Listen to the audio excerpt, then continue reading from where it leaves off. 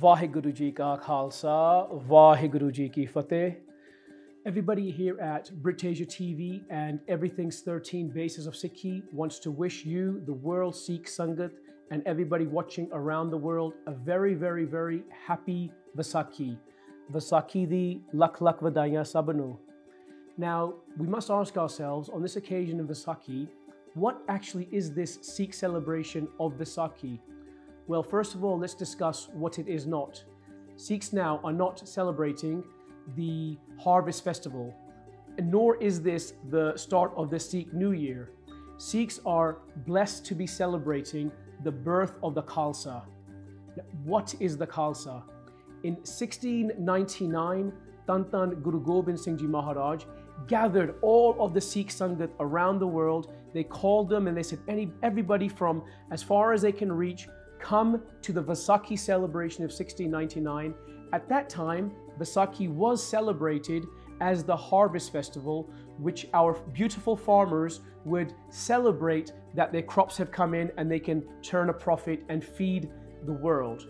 Guru Gobind Singh Ji Maharaj knew this was an important occasion and asked all of the Sangha to um, come to Vaisakhi in 1699. And he did, a, he did something very special. Maharaj asked for five heads. He asked for five people, five individuals within the Sangat to sacrifice themselves and give themselves for the greater good.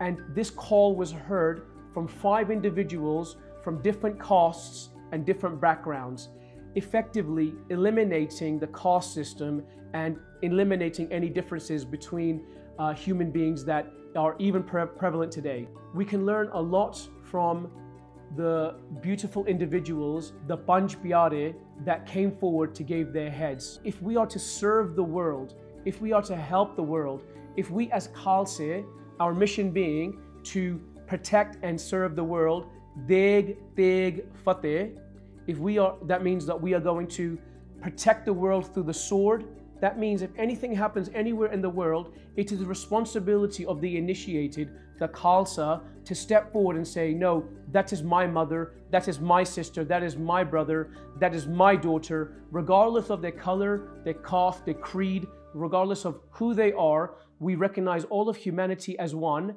So we must step, step forward and say, any injustice that we see, you've got to get through me to get through to them. So if you know anybody suffering, as the Khalsa, as a Sikh of Dhan Dhan Guru Gobind Singh Ji Maharaj, it is our responsibility to get out there and alleviate as much suffering as possible. How do we do that? First, we're going to need empathy. We're going to need compassion. We're going to need daya. Dhan Dhan Pyara Daya Singh Ji. So if we, if we first of all cultivate compassion within ourselves, then we can, uh, number one, love ourselves. A lot of people these days forget to love themselves. So you have to cultivate the love within inside yourself and then spread that throughout the world. And our love comes from our Sangat and from the Guru. Tan Tan Singh Ji. So once you have compassion in your heart, you're going to look out into the world. And because we live in the world of darkness, in the world of Kaljug, you're going to notice there's multiple and many injustices in this world. So we as the Khalsa are there to provide justice to the world. So we see atrocities around the world, not only in our community, but in other communities. It's actually our responsibility to stand up, stand firm, make something of ourselves so we are able to serve with humility and love others. So Tantan Bhai Daya Singh Ji with Tantan Bhai Dharam Singh Ji, you go out and provide uh, help and healing to the world. So the next thing you're going to need is Tantan Bhai Himmat Singh Ji. You're going to need courage and as Khalsa, as Gursikhs, as Sikhs around the world, there's only one place that we can get our courage from, and that is from our Guru. So every day, every morning, we must wake up and turn our faces, turn our heads, turn our mukhs to the Guru, not to our own mind, but to the Guru's wisdom and embed that into our daily lives. So the Guru will teach us that all of humanity must be protected and served by the Khalsa, and we must pluck up the courage to do what is right whenever it is needed. We are going to need the courage and the contentment and the compassion mixed in with steadfastness, mohkam. We're going to need to carry on this fight. This is not this struggle. This is not a once and done, once and over type thing is gonna is gonna is gonna require constant effort, mohkam. And guess what? If you have the compassion, if you have the righteousness, if you have the courage, if you have the steadfastness to be who you're supposed to be, your most highest self, then you will become and we can illuminate Sahib. Tan Tan Bhai Sahib Singh will become a reality to this planet. The Khalsa is Sahib, sovereign. The Khalsa is independent, ruled by nobody. The Khalsa is destined to rule. But what is our rule going to be? We're not going to be after money. We're not going to be after uh, oil. We're not going to be after power. We're not going to be after anything apart from righteousness. We're going to be there to serve all of humanity. So when we see justice, injustice going on all around the world, we're not going to say, does it serve our self interest to go and help those people? No, we're going to think, what is the right thing to do? And ultimately, the right thing to do must prevail. So the mission of the Khalsa is to serve and protect the universe, protect the world, protect all of humanity, regardless of if it causes pain or inconvenience or even death to the Khalsa. In effect, the Khalsa has already given their heads. When you are blessed with Amrit, Mrit being death, uh, the A in front of Amrit denotes death. You are literally becoming immortal.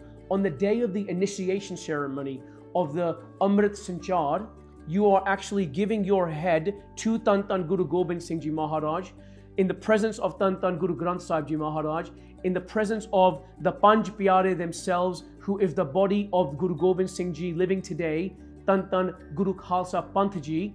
You give them your head exactly like in 1699 when the original Panj Pyare gave their head. Maharaj takes your head and in effect gives you their head in return.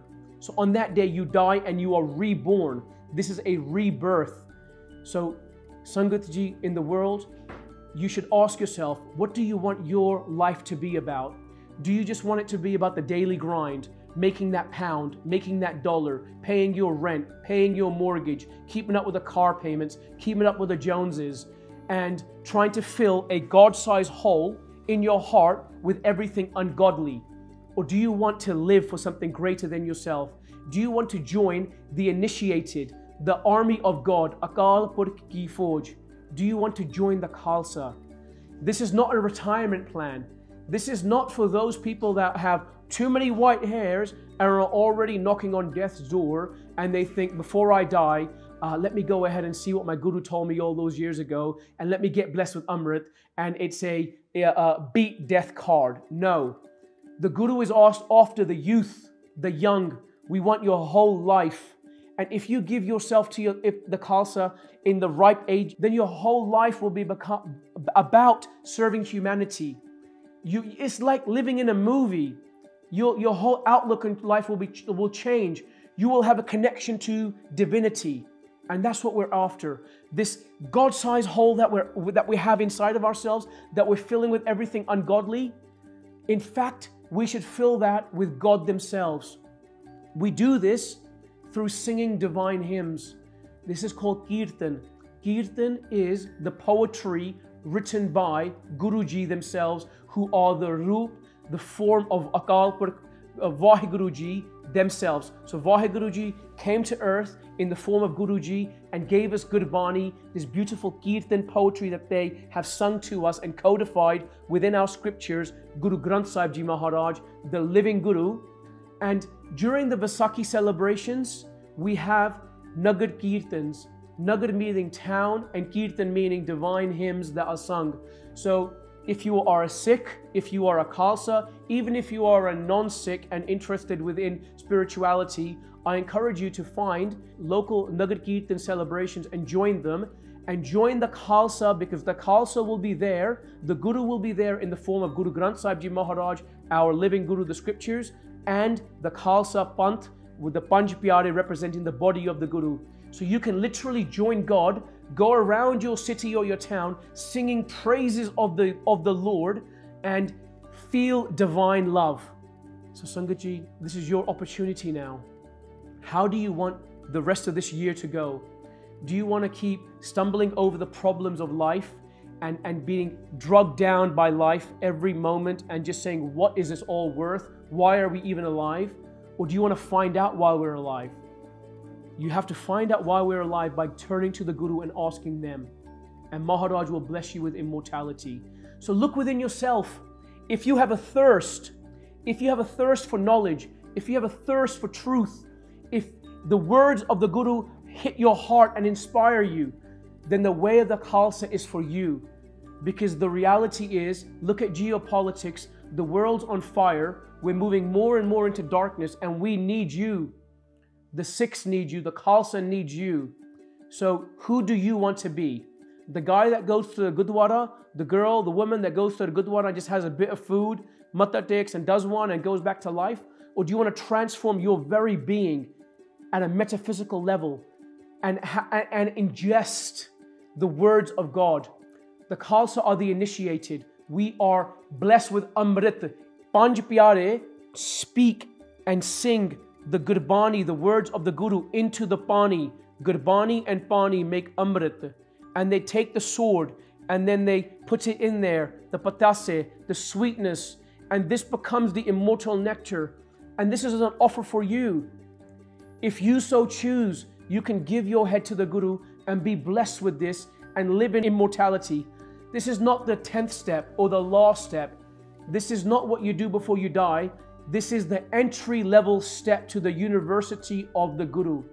And guess what? You don't have to be perfect to be blessed with Amrit. All you have to do is be willing to be a sacrifice to the Guru. If you're willing to give yourself to the Guru, the Guru will do the rest. Because our Guru is perfect and the perfect guru may make you perfect if you listen to their commandments, their bachan, their hukams. So ask yourself, how do you want the rest of this year to go? How do you want the rest of your life to go? Because this opportunity is there for you. How do you want the rest of your life to go? Do you like that the world is going into chaos, or do you want to bring order to that chaos? The way of the Khalsa is for everybody. This is regardless of caste, color, or creed. You can be black, you can be white, you can be brown, you can be yellow, you can be old, you can be young, you can be male, you can be female. You're going to get blessed with the same gifts our Guru gives to everybody. Just like the sun shines on everybody indiscriminately. Our Guru is Jagat Guru. Our Guru will bless everybody. So if you want the blessings, you've got to be greedy for the blessings and chase down the blessings. Why do we look different? Why does the Khalsa have to stand out? Why did our Guru make us stand out? Why the turbans? Why the long beards? Why the insignias of the kara? Why the kirpans? Why the swords? This is so that the world can recognize that is a Khalsa of the Guru. And not because that man or woman is special, but because their Guru is special, that person is obligated to help me in my time of need. So Khalsa ji, we're supposed to stand out. We're supposed to look different, much like a police officer. That when you're in need, you can turn to the person in the uniform and they can say, That person is responsible to help me. The Khalsa is made to look different so we can serve all of humanity and we can never shy away. Our swords are there, our kirpans are there that remind us that no matter how we feel inside, we may be scared inside, we may be fearful inside, but we look to Tan Tan Bhai Himmat Singh Ji, we look to Tan Tan Bhai Dharam Singh Ji, Bhai Daya Singh Ji, Bhai uh, Mohkam Singh Ji, Bhai Sahib Singh Ji, we say, we want your courage. We want the courage of the Char Sahibzade. We want the courage of a Guru to do the right thing. So our kirpans are a reminder that the Guru is always with you.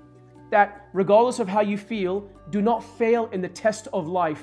When it is time to do the right thing, the Khalsa must do the right thing, not through their own power, but the power bestowed to them by the true Guru. And then when the right thing does happen, it is not that individual's uh, uh, celebration time. This all celebration, all salutations, all blessings are from the Guru, and all thanks go to the true Guru. So again, we ask you, who do you want to be? Do you want to be part of the problem or do you want to be part of the solution? Investigate what it means to be a Sikh. Invest, investigate what it means to be a Khalsa. Look within your heart. If the words of the Guru hit you in your heart, Do not think what the world has to say. Do not think what the fa- your family has to say. Do not think what your colleagues have to say. Only think what your guru has to say and what Vahiguruji has to say. And take one step towards the guru, the guru will take millions of steps towards you. So on this day of Vaisakhi, in the celebrations of Vaisakhi, while we are at the Gurdwaras celebrating with langar, literally langar, providing free food for everybody. Again, you don't have to be a Sikh, you don't have to be a part of our religion to come into the Gurdwara and break bread with us. You can tell your friends, your family, your colleagues that are of different religions and different backgrounds hey, guess what? We're equal, and because we're equal, let's break bread together, come to the Gurdwara, let's sit on sit at the same level and eat together, and put this notion of equality, this philosophy of equality into an actual practice and experience equality through servitude and through love. So ask yourself who you want to be. If you want to give your head to the Guru, tomorrow is not guaranteed. You should be looking for the next Amrit Sanchar and becoming the Khalsa of the Guru in order to serve all of humanity and live in love. Thank you very much. Vaheguru Ji ka Khalsa, Vaheguru Ji ki Fateh.